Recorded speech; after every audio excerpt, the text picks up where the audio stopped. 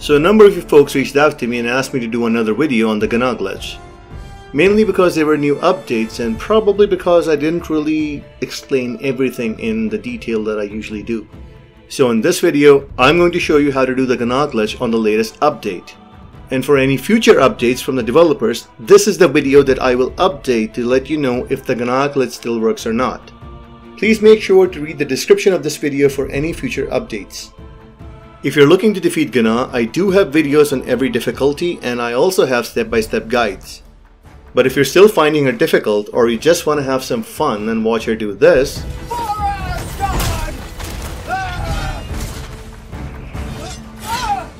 then this video is for you.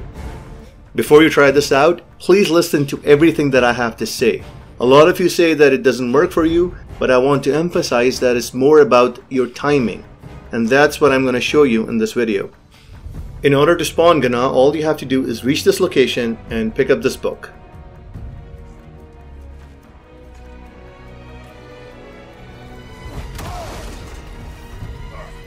When she's in front of you, turn around and approach the ledge, you should see this circle.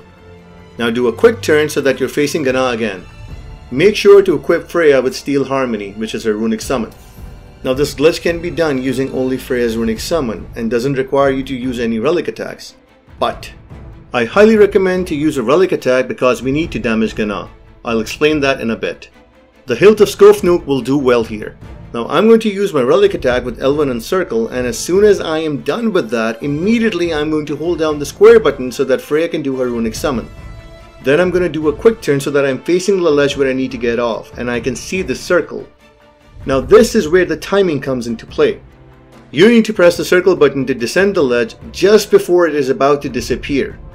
If you do it too early, it's not going to work.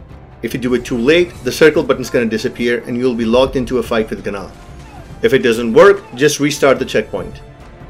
How can you tell if the glitch worked? Well, if you're hanging off the ledge and Freya's runic summon ends, Gna will start walking towards you or will start attacking Freya or Kratos for that matter. If she just stands there and doesn't attack, it means that the glitch didn't work. Restart your checkpoint. Now if you're still having issues with the timing, you can see my timer with the Soulless Warrior on the left and you can time it with that so that you can get it right. Now please please please just listen to this very carefully. Now that the glitch worked, you're hanging off the ledge and Gna's attacking you, you have to wait between 10 to 12 minutes. Because it's gonna take Freya this long to deplete Gna's 2 HP bars. Go make yourself a sandwich, take a bathroom break, or just wait it out.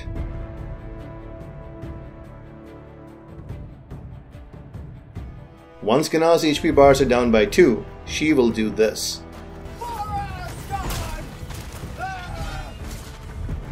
Yep, jumping to her death for Asgard.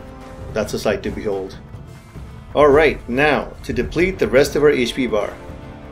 Now there are only certain attacks that can hit her when she's down there. Number 1. Freya's Arrows. Move Kratos around and keep pressing R3 so that you can lock onto her. It's gonna take you a while, but with proper positioning, you should be able to lock onto her. Once you lock on, press the square button and you'll see that Freya's arrows will connect with Gna.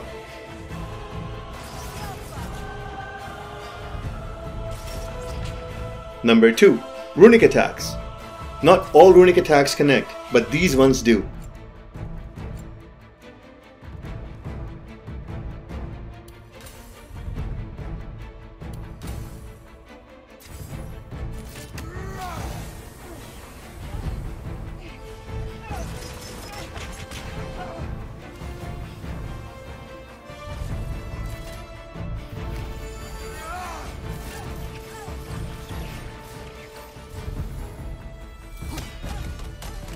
Number 3. Relic attacks. If you are logged on to her, you can press L1 and circle to use the Hilt of Skofnung relic attack and you should be able to hit her. Honestly, I haven't tried any of the other relic attacks, but feel free to use anything that you like and let us know in the comments whether it worked for you or not. Number 4. Shield attack.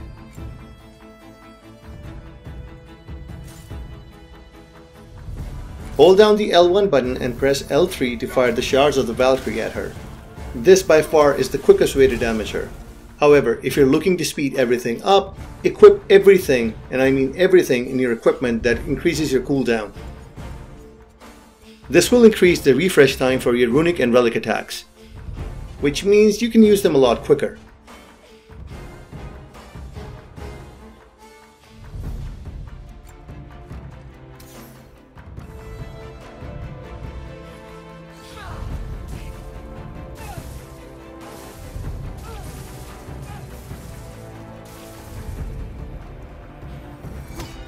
After you have brought Gna's HP bar down to zero and you see the R3 prompt, just restart your checkpoint. And Gna will be there right in front of you. Approach, press R3, and that's it. Gna defeated, no damage. Brag about it to your friends if you like. I hope this video helped you in understanding how the glitch works and how to hit her when she's down in the lava. Please make sure to read the description of this video for any future updates. If you enjoyed this video, leave a like, comment, and subscribe. I'll see you in the next one. Take care.